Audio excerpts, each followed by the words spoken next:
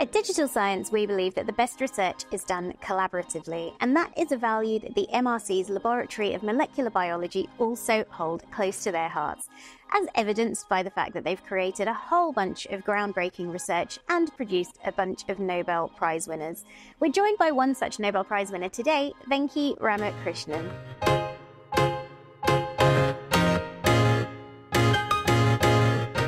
Venki Ramakrishnan, thank you so much for joining us today.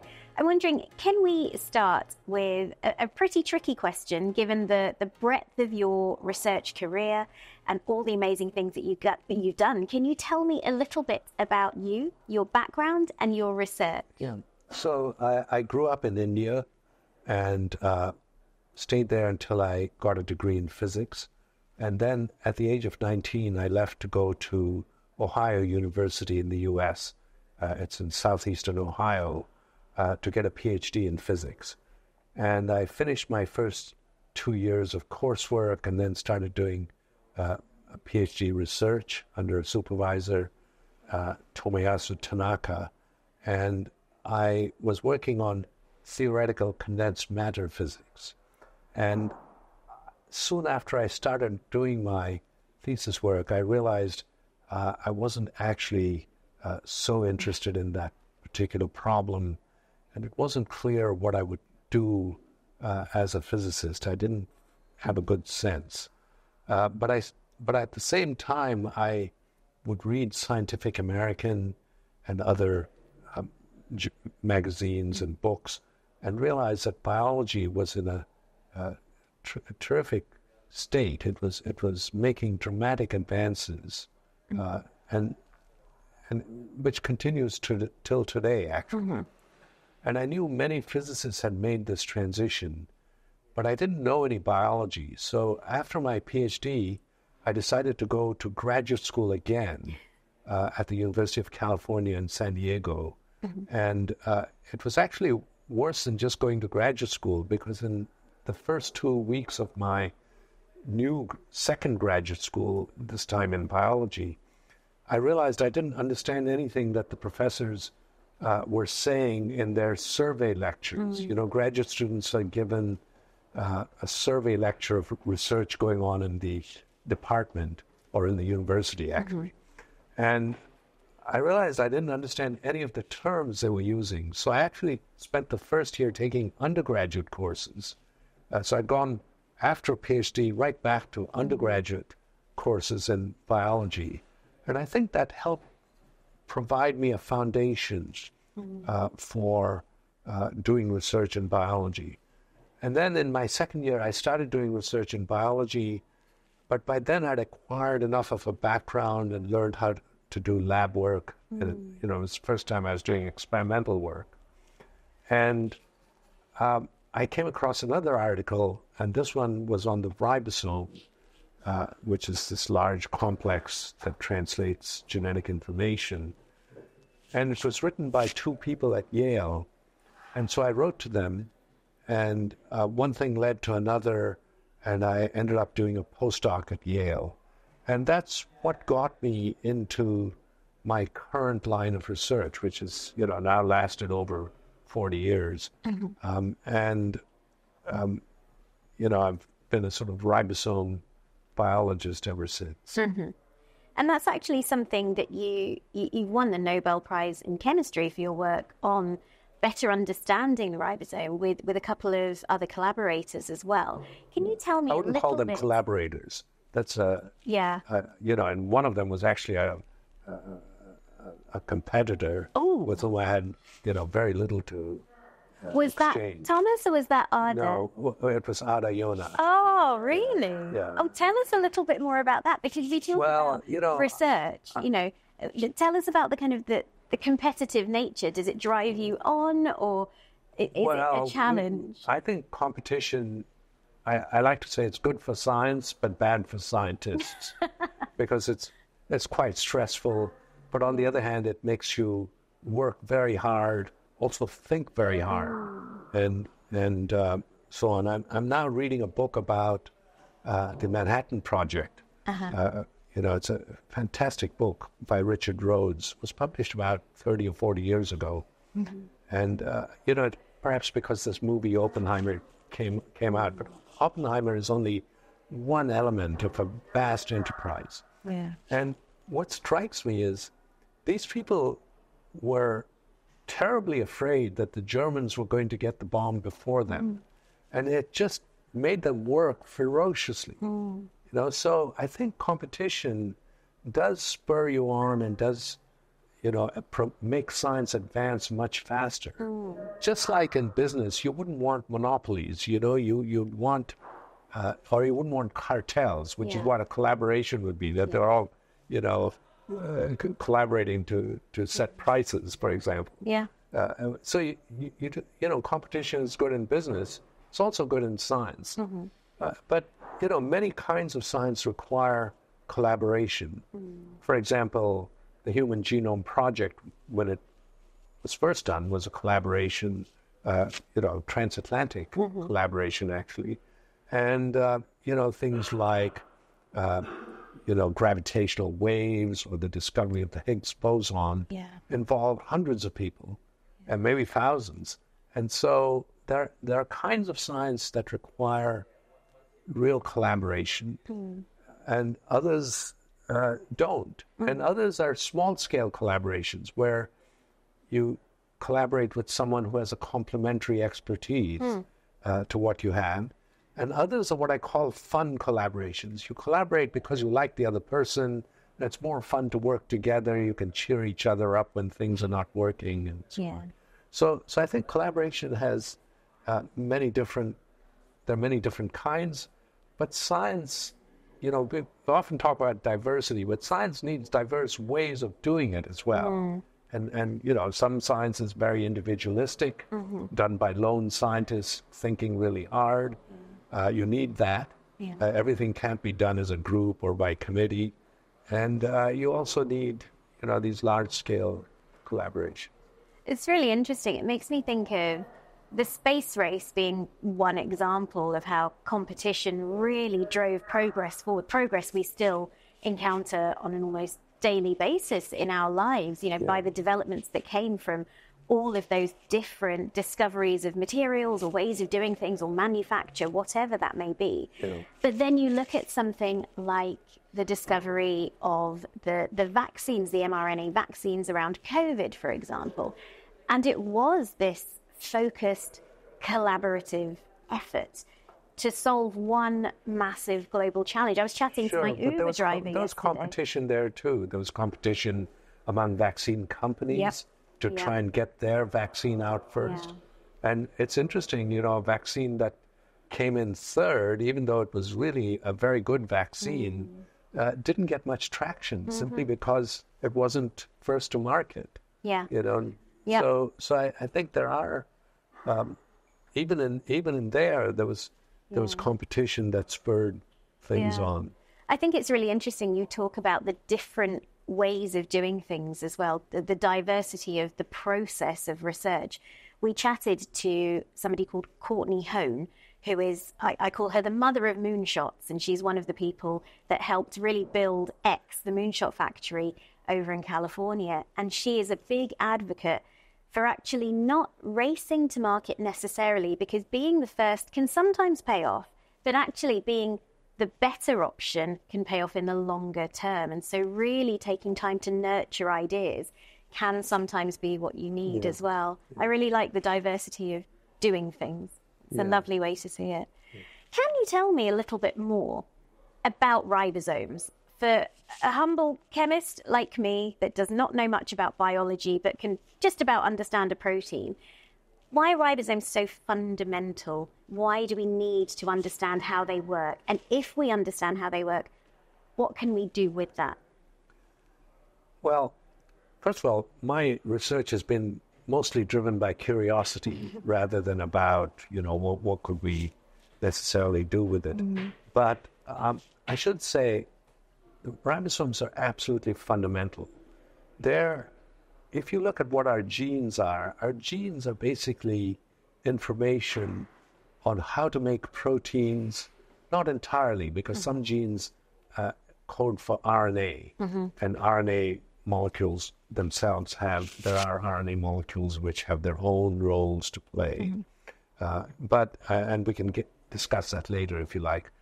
But many genes code in, have contain information on how to make proteins, mm-hmm. and that information is copied to an intermediary molecule called messenger RNA or mRNA, which is what these vaccines, mm-hmm. uh, many of these vaccines are, and the mRNA is actually read by this large molecular complex mm-hmm. called the ribosome. And what the ribosome does is it reads the genetic instructions, mm-hmm. that is, the string of bases that form mm-hmm. the mRNA, which is really a copy of the string of mm-hmm. bases on one of the strands of DNA. And it, it reads that string of instructions, and according to those instructions, it stitches together a protein from its building blocks, which are amino acids. And the miraculous thing about proteins, it's not mir- miraculous, it's all chemistry, but um, is that based on the sequence of amino acids that make up the protein, which is dictated by the genetic sequence, the protein folds up into its characteristic shape, and that characteristic shape gives it its function. And so ribosomes are right at the crossroads between genes and the products that genes specify. And it's all these thousands of proteins that we have in our body, uh, which are made from the thousands of genes that encode them, that we function. So genes are responsible for the very fact that you can see me is because of a protein uh, in your eye called rhodopsin. Uh, the f- fact that you can take in oxygen and use it and distribute the oxygen to your tissues is due to a protein called hemoglobin, which is what gives blood its its red color. Mm-hmm. And uh, our skin and connective tissue is made of a long filamentous protein called collagen. Mm-hmm. And so you, I'm just giving and antibodies are made of proteins. Yeah. So just to show you the diversity of proteins that make up life. Mm-hmm. And every one of them is made by the ribosome. Yeah. So the ribosome is absolutely fundamental to biology. Yeah, it's brilliant. I mean, I, hearing about your story and reflecting on what you said about how you you explored something that you were curious about. You didn't think so much about the the impact or the longer term ripple effect it would have on on the rest of biology, on the rest of sort of scientific understanding. It reminds me a little bit of another Nobel Prize winner, actually, Harry Kroto, who, when he was working on buckminsterfullerene and buckyballs, he struggled a little bit at one point to get, you know, a, a faculty position because the work he was doing was interesting, but because that application couldn't be demonstrated, there was a bit of reluctance. And I think we see that perhaps these days as well as we need to declare potential impact for the research that we're doing when we apply for funding. Can you can you relate to any of those challenges or struggles? What do you think about? Well, do we I've, give I've research been enough very space? lucky. I, I, I've been in positions where, um, you know, mostly research positions, except for a brief stint at the University of Utah, uh, which is the only time I've been a professor, Mm-hmm. um, uh, and where I was a faculty member in uh, the School of Medicine, Mm. the biochemistry department there. But but university, so the NIH in the U.S. is very very broad-minded.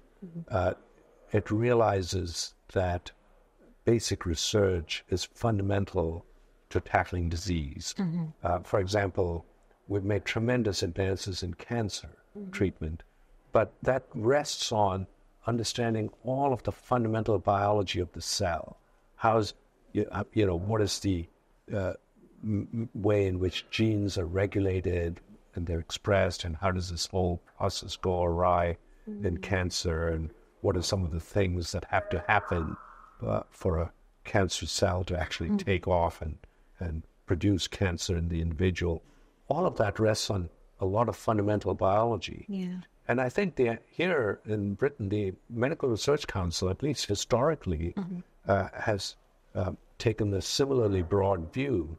In fact, this lab, which is was founded by the Medical Research Council and still uh, one of the, you know, is one of the big biggest institutions still directly uh, funded by the MRC, uh, is based on uh, fundamental research, and yet the uh, slight irony is that the LMB has produced more wealth, uh, in, you know, than almost any other biological institution, mm-hmm. uh, because this is a place where sequencing was discovered. This is a place where uh, protein structure determination mm-hmm. was uh, developed first by X-rays, you know, 60, 70 years ago, and more recently by cryo-EM. Mm-hmm. And uh, it's where monoclonal antibodies uh, were discovered. And monoclonal antibodies are a multi-billion dollar business uh, in the world today. So, uh, and you know, six of the top 10, 10 drugs in the world are monoclonal antibodies, yeah. and we're finding in- increasingly new uses for monoclonal antibodies. But all of that came out of fundamental research. Mm. So I think if you were to put a value on fundamental research, the value would be enormous, mm-hmm. far more than directed research. Mm-hmm. Because while directed research can improve things in a field that's already known, mm fundamental research can break open entirely new fields and create revolutionary new applications. Mm. And that's the part that I think uh, isn't made often enough. Yeah. How do you think, in the current framework of research, how can we ensure that we make space for those kinds of discoveries? I think governments need to realize that you need to nurture fundamental research uh, and they need to spend agree to spend a certain fraction of their budget mm. on you know high quality uh, really pushing the envelope kind of mm. fundamental research mm. some of it could be very high risk mm-hmm. and and things that are not likely to pay off mm. but if they did they would open up entirely uh, new fields. Mm. But of course, ultimately, the taxpayer is funding science only partly out of curiosity. It's also partly because they feel that science can lead to uh, better technologies, better medicine, improve their general uh, well being and, mm-hmm. and, quality of life. And so we have to respect that because it is money coming from the taxpayer. Yeah. So, uh, so, of course, research councils and funding agencies also need to fund uh, directed mm-hmm. research, they need to fund applied research.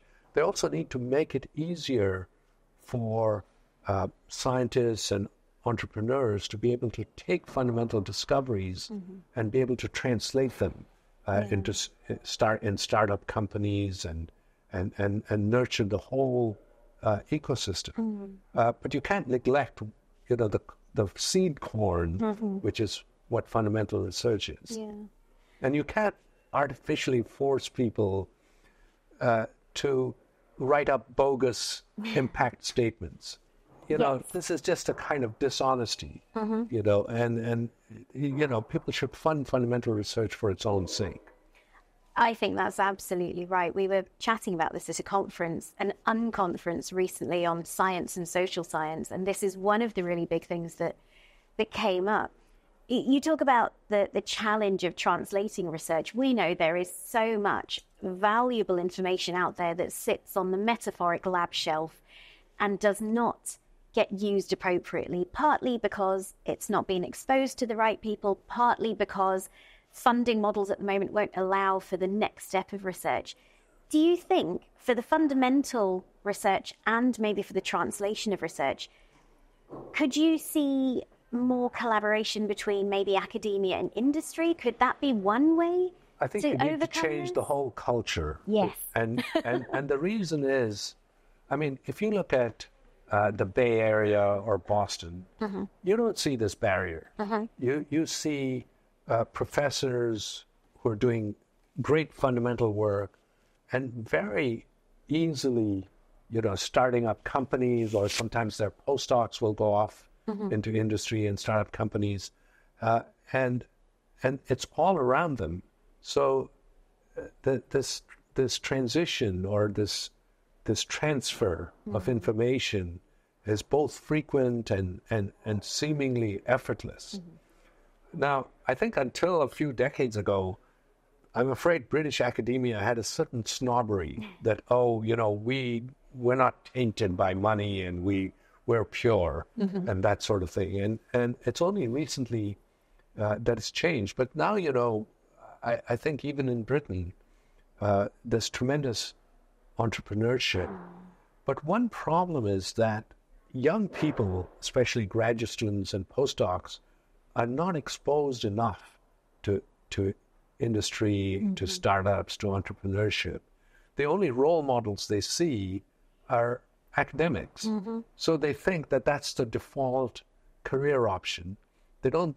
This the entrepreneurship idea isn't inculcated in them from a very early mm. stage. Then they become slowly aware of it, and and they sometimes see it as an option if academia doesn't work out, which is the wrong way to look at it. Mm-hmm. You know, it should be an equal option depending on their uh, particular interest and aptitude and Absolutely. I think um, it. I think it was actually the Royal Society. You were a, you know, you were a former president of the Royal Society, and I think it was one of your reports that showcased just the the stark numbers of people that actually stay within a, a research and an academic research career versus the number that start, and it really tails off so quickly. But I do think you're right. At the moment, we tend to expose researchers, whether they're PhD students, postdocs, to this idea and the training regime that will train them to become academic researchers. And we train them in very little else at the moment. Do you think that needs to change? Because the bulk of research does happen outside of academia. All of these amazing graduates go on to have influence in a range of different careers. What do you think we need to do? I, I wouldn't tr- I wouldn't train them differently because you do need that very rigorous training in, in, in doing science and doing research and, and that's going to serve you well uh, whether you're in academia or industry. You, it, it- whether you're in, indus- in, in industry you still have to do uh, essentially rigorous science and rigorous uh, research. So I wouldn't necessarily change the training, but what I would do is is expose them more uh, to alternatives uh, and expose them more to possibilities in entrepreneurship, so that they're constantly uh, their mind is open to other possibilities, and it's not just uh, entrepreneurship. There are other careers in science. There's public engagement. There's policy, science policy. Uh, there's work in government, um, international organizations, science organizations, uh, publishing. So there are many careers in in science, and I think it would be useful to have either workshops or people just coming and giving talks about all of these alternatives so that people are generally aware. But in the end, it's go- only going to change if, if we build up broad ecosystems around academic centers. And, and that's what the US has done very well, and Israel is another example uh, of a place that's done really well. Uh, other places that have done it well are places like Singapore. And I was impressed that in China now, there are lots of incubators and startups embedded within university uh, campuses. And so that then exposes people who are uh, students or postdocs to that ecosystem around them. And, and I think that's a way to have it happen naturally. Yeah. That's really interesting.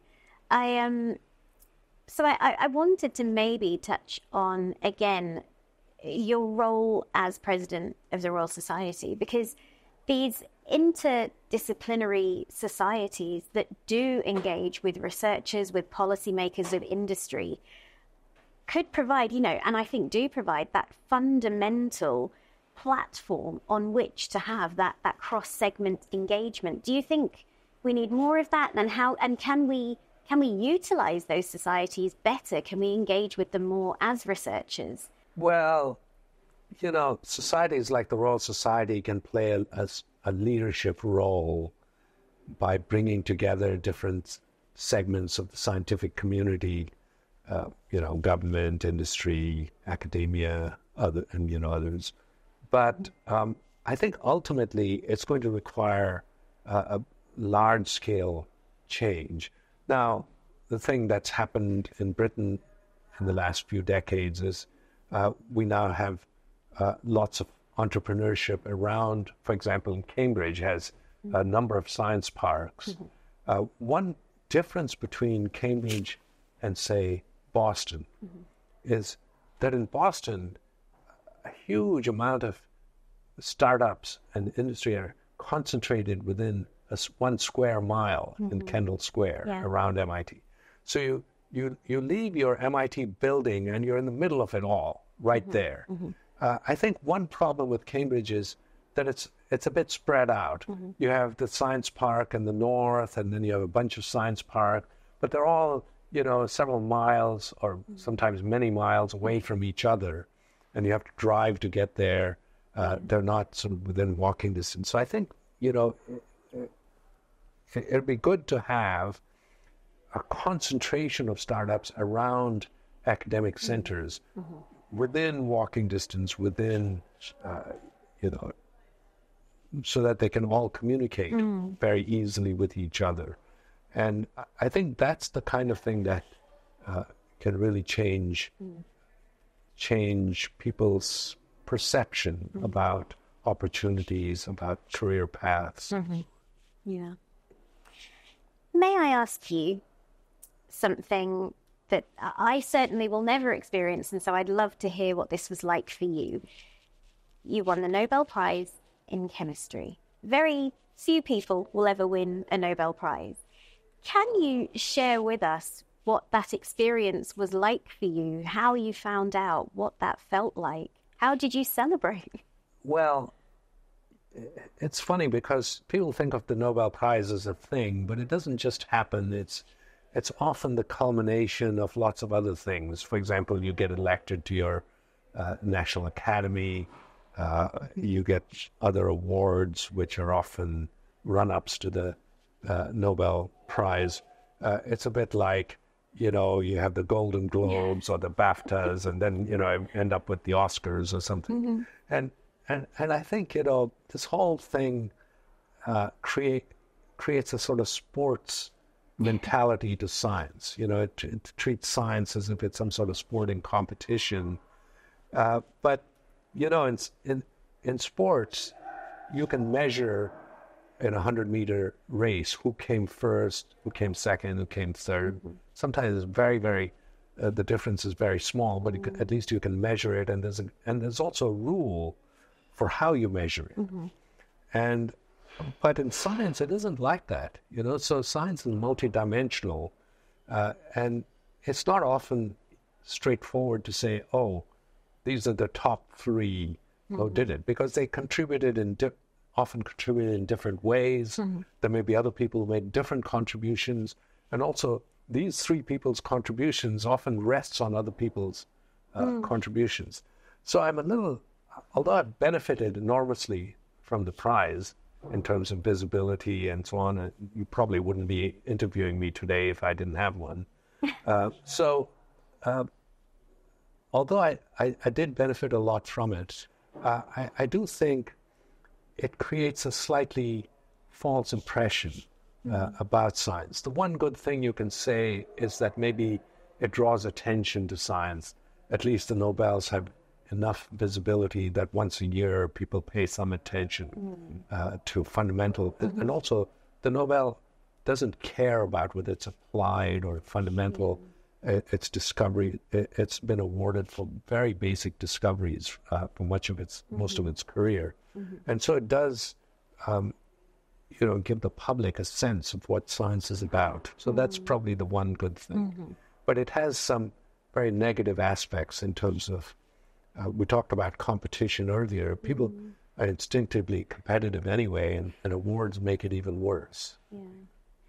That's really interesting, actually. And I, I like that you sort of told that story of the, the snowball effect almost, you know, the, the BAFTAs, yeah. the Golden Globes, the, the ultimate yeah. Oscars so, so to get back to your thing, yeah. uh, the, the back, get back to your original question, there were a number of awards for the ribosome, and most of them uh, went to other people and not to me.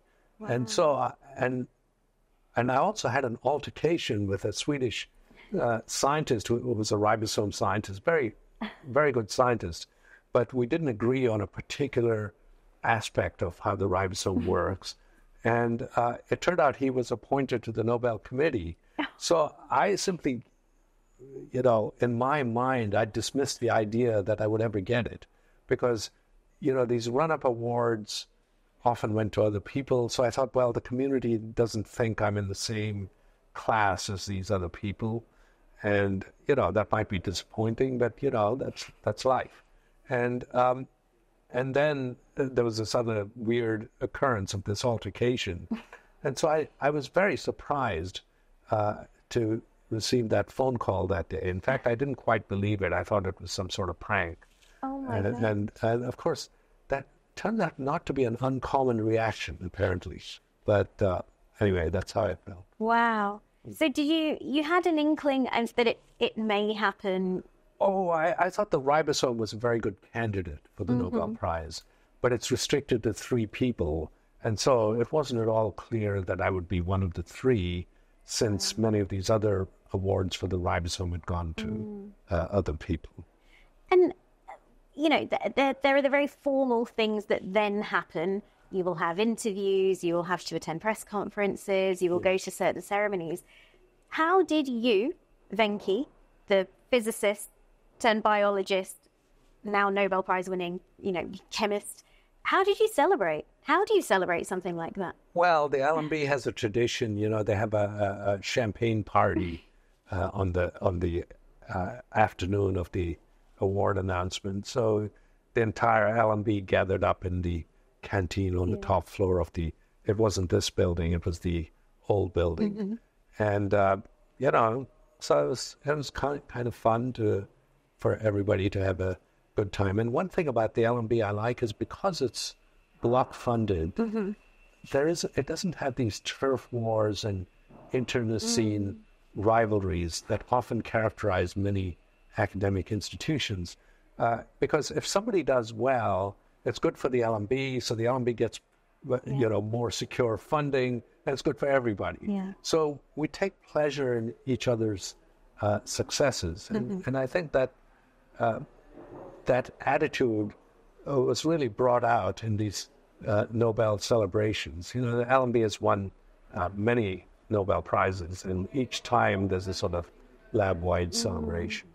I love that. The idea of all these Nobel laureates going, oh, we've got another one, everyone. This is great. but it just goes to show the productivity of this kind of setup, this different yeah. way of doing research. Yeah, and of course, you know, the Nobel Prize is not a it's not a goal of the lab. We could, you know, the lab went uh, once went, I think, almost 20 years without one. Uh-huh. Okay, and uh, it didn't matter. the The point is that the LMB likes to support challenging fundamental problems, and the Nobel prizes are an occasional byproduct mm-hmm. uh, of that way of doing science. Yeah, brilliant. I'm going to wrap up with one final question. If you had a magic wand and you could do one thing to make research even better, what would you choose to do? What would you choose to change? That's that's very hard to answer. I, I, I don't know. I, I, I think if you look at how amazingly well science has done, mm-hmm. and you know the the progress in just the last century alone is just astonishing. Mm-hmm and the number of scientists has grown, the whole enterprise has grown, uh, discoveries are being made at an increasingly rapid pace. So I'm not sure, you know, what else we could. Maybe we're doing a lot of things mm. right. Yeah. And and that's why it's working. And and of course, we always want things to be better. So we're always complaining. Yeah. But, but I'm not sure that I, I don't I'm not one of those people who feels that science is broken. I, I see young people doing you know, brilliant science mm-hmm.